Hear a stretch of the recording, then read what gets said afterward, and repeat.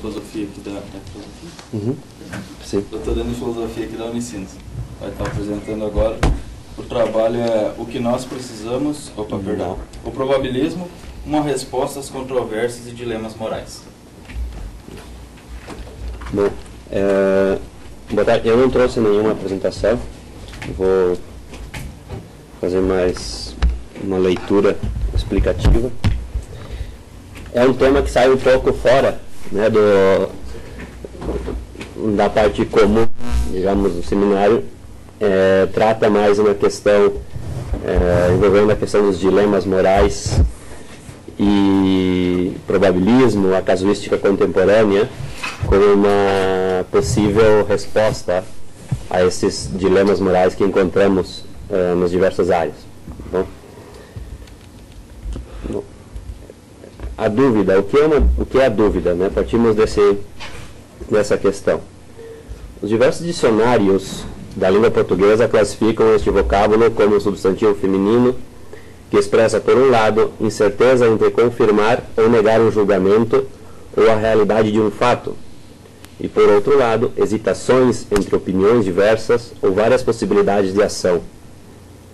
À primeira vista, vemos um duplo sentido, um epistemológico e outro prático, né, voltado à ação. O que fazer quando não se tem certeza no momento de decidir e agir? A experiência nos mostra que a dúvida diante da decisão, no momento de agir, gera angústia e até mesmo paralisa paralisação no agente. No dia a dia, o ser humano se depara constantemente diante de situações de difícil escolha por uma das diversas opções que se apresentam ao agente. As situações que nos encontramos de uma escolha e a primeira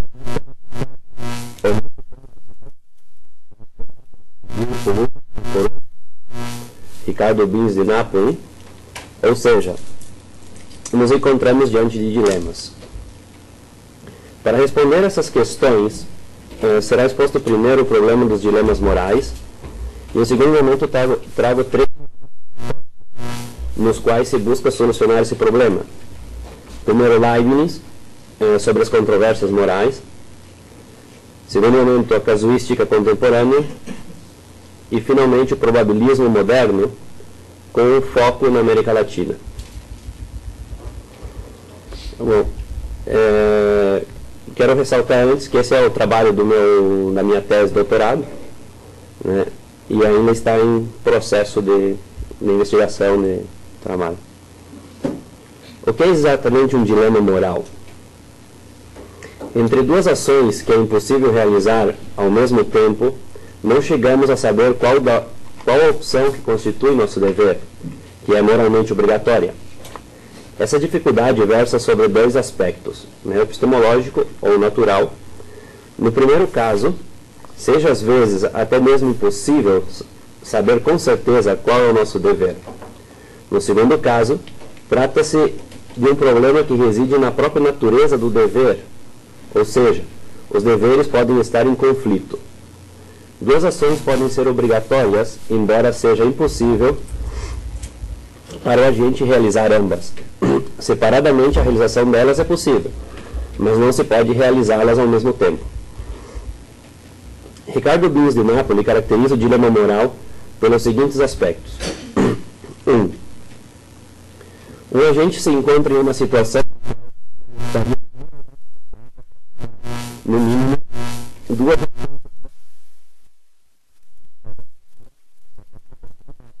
e não sabe porque sabe que sem experiência e boa forma poderá se afogar junto, deixando sua família e seus próprios filhos sem pai. O agente 2, embora possa moralmente praticar cada uma delas separadamente, 3, não pode praticar ambas ao mesmo tempo. O dever de realizar A significa dever de não realizar B, ou não A. Logo, 4, as duas ações podem ser conflitantes entre si. Para 1994, o dilema moral caracteriza-se pela situação na qual sempre se irá incorrer em um erro independente da opção adotada. Nesse caso, o agente não tem uma saída moralmente aceitável. Há uma terceira forma de considerar dilemas morais, relacionando-os com obrigações. Autores da pós-modernidade, tais como Bernard Williams e McConnell, defendem a existência de dois tipos de conflitos de obrigação, obrigações, solúveis e insolúveis. Dessa distinção segue-se que há dois tipos de dilemas morais. No primeiro caso, se dissolúvel pelo fato de uma Dá-se o exemplo de uma pessoa que se dirige a um compromisso marcado, mas no caminho se depara com um acidente.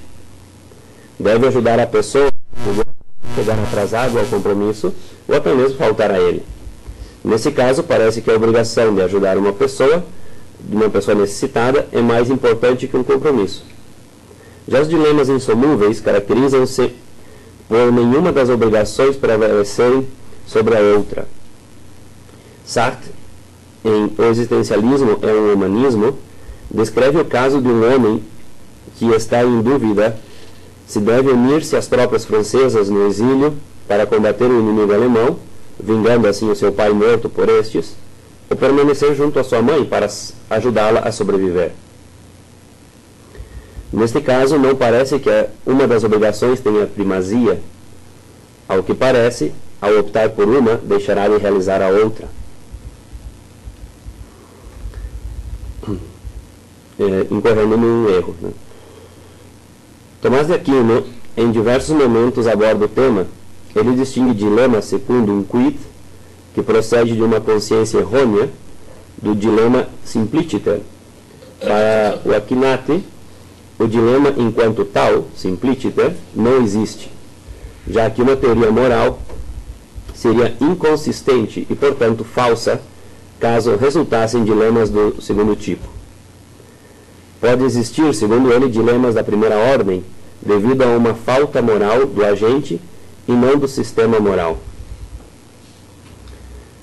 Kant vem reforçar o corpo de dilemas pois um conflito de deveres é inconcebível, porque os princípios que exprimem os deveres afirmam que algumas ações são necessárias, ou tais regras não podem estar em conflito. Admite, no entanto, que os fundamentos dos deveres podem estar em conflito. Metafísica dos Costumes 2. Vejamos a justificação kantiana. Para qualquer dever singular, só pode ser encontrado um fundamento de obrigação, e se alguém produz duas ou mais provas para um dever, é sinal seguro de que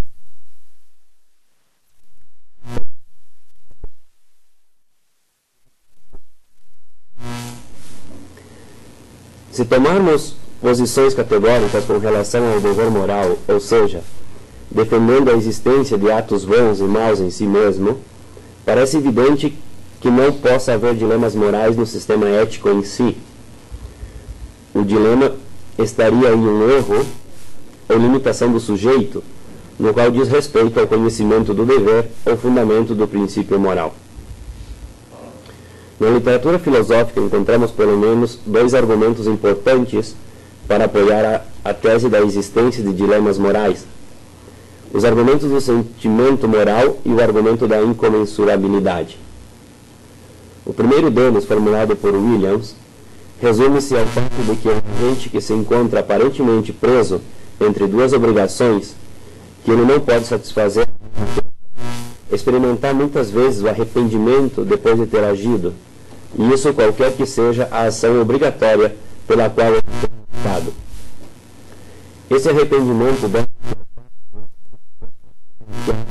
uma de suas obrigações. Isso leva a concluir mas na verdade essa experiência só mostra a possibilidade da existência dos conflitos de obrigações e não sua realidade. Para isso seria necessário fazer referência a um caso real. Para Christine Tapolet, a única maneira de mostrar que há um dilema insolúvel consiste em afirmar que, qualquer que seja a opção escolhida, será adequado experimentar um sentimento de arrependimento de uma mesma intensidade.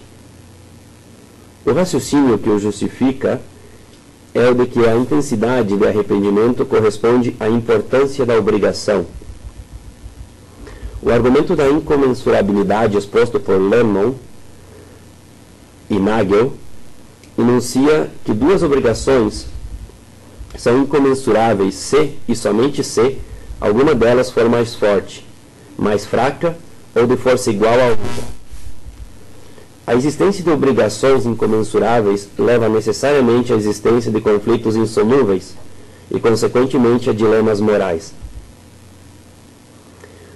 O que joga a favor da existência de tais obrigações é a constatação de valores uma razão que pode advogar a seu favor é a inexatidão das comparações entre obrigações. Não parece que cada obrigação tenha um grau de força. Tendo isso em conta,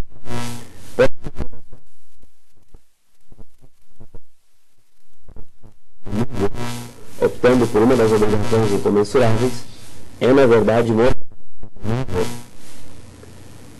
Mais adiante voltaremos a essa questão. Com a existência da possibilidade de haver dois tipos de conflitos de obrigações, chega-se à possibilidade da existência de dois tipos de dilemas. Pode-se destacar que, para vários autores, como Tomás de Aquino, Kant e outros contemporâneos, o único dilema que realmente existe é o resultado de conflitos insolúveis, já que, no primeiro caso, uma obrigação sobressai a outra e, portanto, não configura um verdadeiro dilema fica evidente para esses autores que não todo conflito moral caracteriza-se um dilema moral. Por outro lado, a experiência humana nos mostra que há situações ético-morais de difícil solução prática, caracterizando verdadeiros dilemas. As controvérsias leibnizianas. Para essa abordagem, baseio-me no trabalho do Dr. Marcelo Dascal, eh, onde ele fez uma compilação dos textos de Leibniz e nós temos a edição aqui na, da editora Unicinos. Leibniz entende por controvérsia um debate ordenado e não ao acaso, em que razões e não essas razões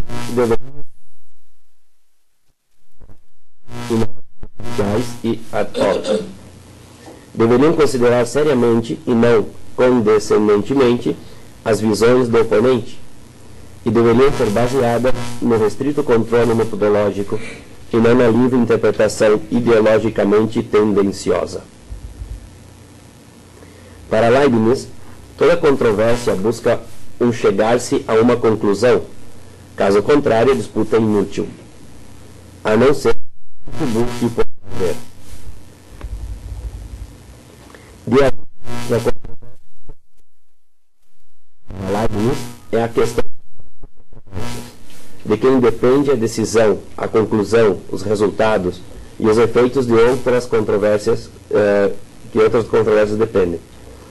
Tal problema se deve à falibilidade do ser humano em questões práticas e a única solução seria encontrar um método onde se pudesse alcançar a mesma infalibilidade prática que a infalibilidade teórica obtida em questões relativas à realização de cálculos, cálculos matemáticos.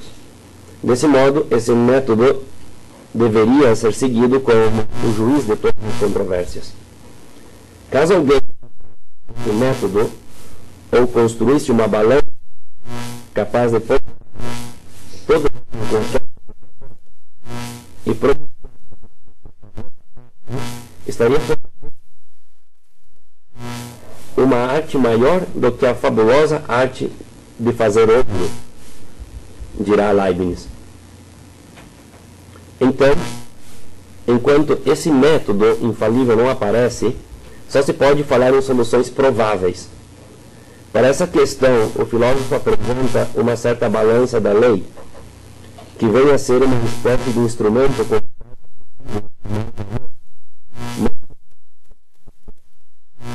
mas de alto o peso das razões. Para o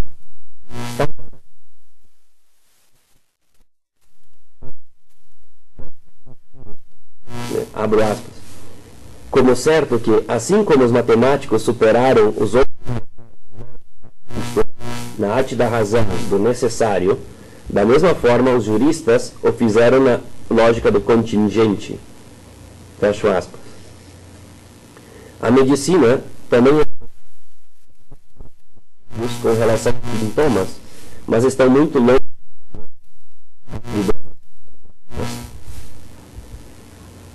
Os juristas devem elaborar preceitos sobre provas completas e incompletas, sobre presunções, sobre conjecturar, com respeito das leis, sobre completos e testamentos, sobre pistas criminais, indícia, e sobre os argumentos.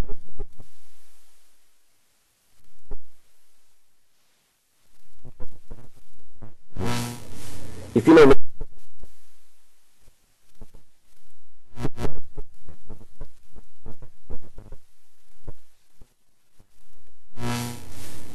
De aí a saber, a aquelas pertencentes ao status lógico do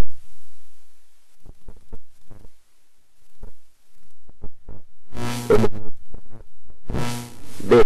Diretrizes para investigação judicial, investigação, fraude, intimidação, etc. C princípios fundamentais subjacentes ao sistema legal. Por exemplo, axiomas ou máximas e seu uso, os tópicos jurídicos. Dascal 2006, página 91. Para Leibniz, esse trabalho sobre o grau de provas é direcionado sobretudo àqueles que dirigem as consciências para poder determinar a força e a autoridade da probabilidade prática. Cita a Honoré Fabre, uh, o moderno, que defende que um homem sábio e prudente pode agir seguindo uma probabilidade menor ou uma quando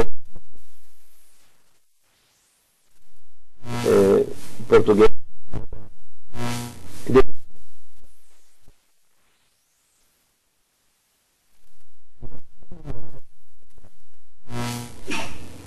Bom, se essa prática é aceitável em questões éticas, não por questões óbvias, segundo Leibniz. Com a proposta da balança da lei, não se pode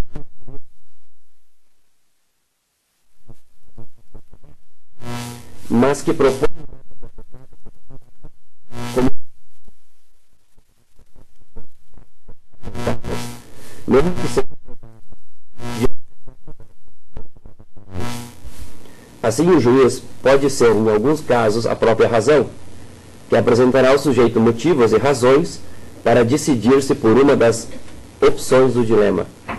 Mas em outros externo e imparcial. Em ambos os casos, a persuasão tem um papel central. Casos e a casuística contemporânea. O sentimento de, de arrependimento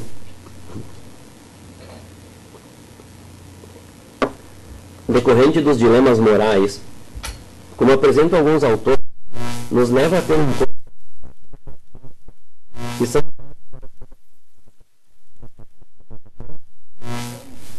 O problema que fica é o seguinte: é possível tomar uma decisão em um dilema moral sem que pareça que agimos erroneamente, tendo por consequência um sentimento de arrependimento no agente? Esse sentimento é causado devido a aplicação de princípios universais em casos particulares, como pode-se notar na situação do jovem relatado por Freud. Desculpa, Freud não, uh, Sartre. Um caso de consciência pretende reduzir entre formas demasiado gerais para amoldar-se exatamente ao contorno das situações vividas e o jogo Essa abordagem nos leva a considerar dois estágios da casuística. Começamos pela abordagem contemporânea, para depois de especialmente a abordagem latino-americana. Johnson e Tullman, eh, os pioneiros da casuística contemporânea, direcionam suas atenções à área médica e à bioética e propõem uma... Em um primeiro momento, Johnson uh, não pretende criar integralmente uma, uma nova casuística. Está mais preocupado com a singularidade do ato moral. Nota-se duas interpretações sobre a função da casuística. Há uma versão as normas em função das circunstâncias singulares, ou seja, a casuística seria uma forma de aplicação das normas aos casos particulares. Em sua versão mais radical, a casuística pura trata-se de resolver casos sem referir-se a normas morais, a partir da simples consideração das circunstâncias da ação realizada. A primeira abordagem confere um científico ao conhecimento do campo prático. A segunda traz uma abordagem hermenêutica. Os autores antes citados buscam renascer os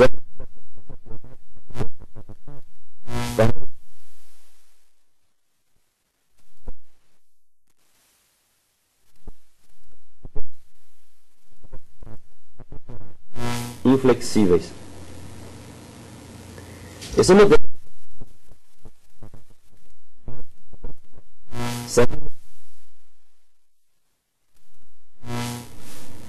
Toda situação é disposta numa categoria de casos paradigmáticos, cujo tratamento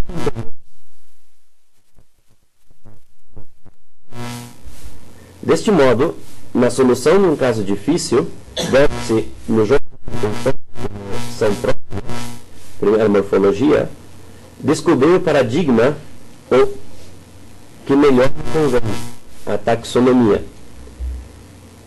E em terceiro lugar, as regras válidas para, para a médica.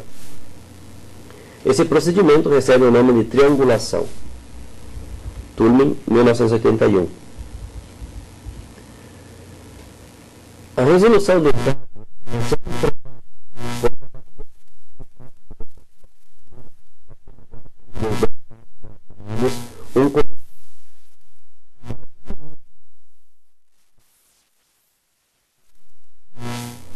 experiência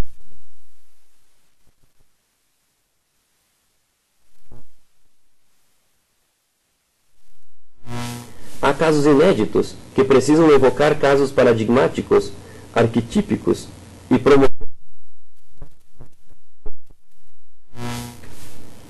Desse modo, os casos antigos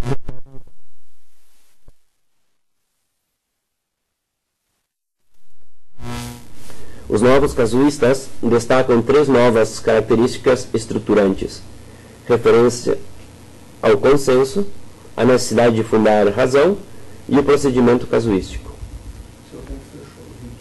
Ok. Eu vou pular para a questão da casuística probabilismo.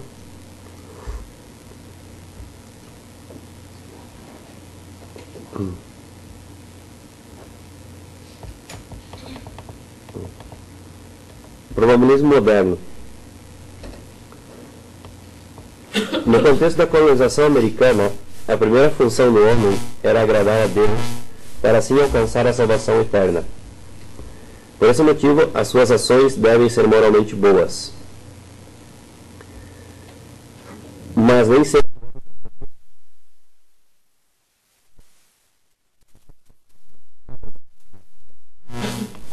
Aqui é onde reside o problema central do ato moral. O que fazer quando não se tem certeza da bondade do ato? Bom, eu vou pular diretamente para probabilismo. O que é realmente o probabilismo? A consciência provável apoiada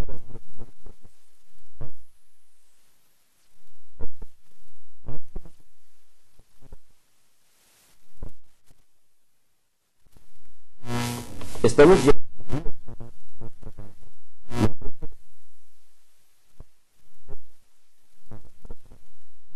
Primeiro, estar a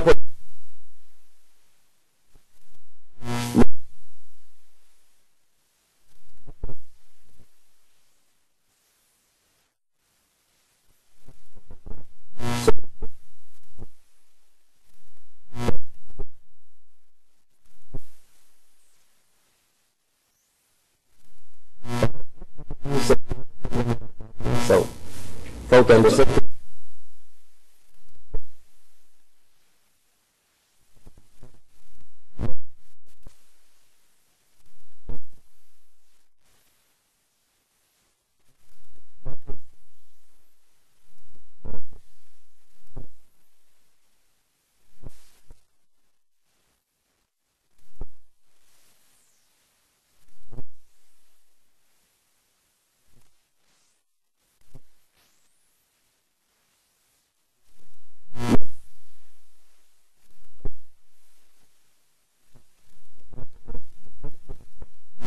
a qual uh, Diego Novenberg, principais uh, probabilistas da América Latina, coloca como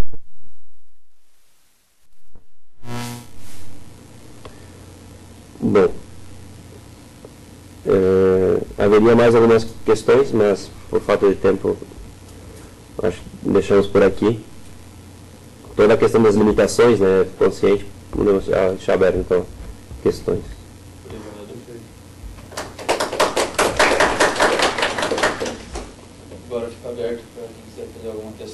só vou pedir para vocês terem um microfone na frente, ligar, apertar o botãozinho ligarzinho, pode fazer a questão.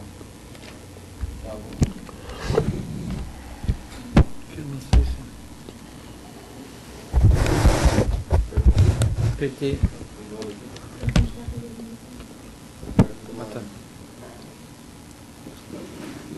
Muito obrigado aí pela sua apresentação. É, só eu fiquei bem curioso é que tinha dois pontos na apresentação, né? O probabilismo e a casuística contemporânea, né?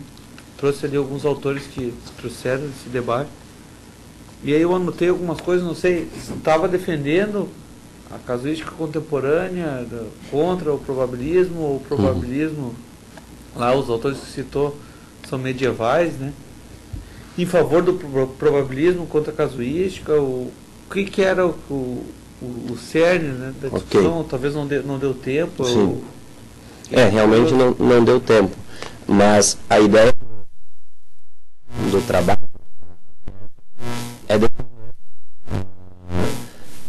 ou seja, é mostrar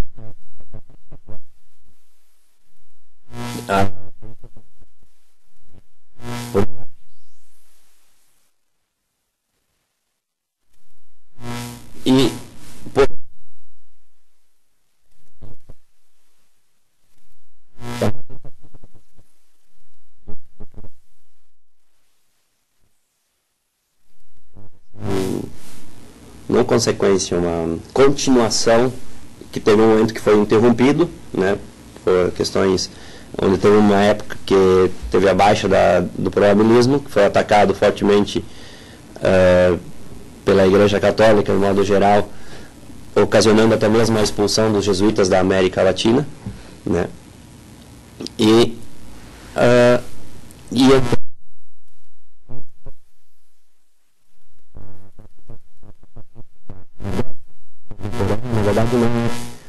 a ser medieval. Ela, é, ela começa no século XVI e perdura até o século XVIII. Né? Uh, alguns autores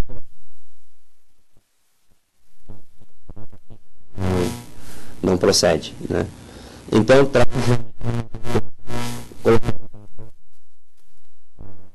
como uma tentativa disso e responde questões que a casuística atual.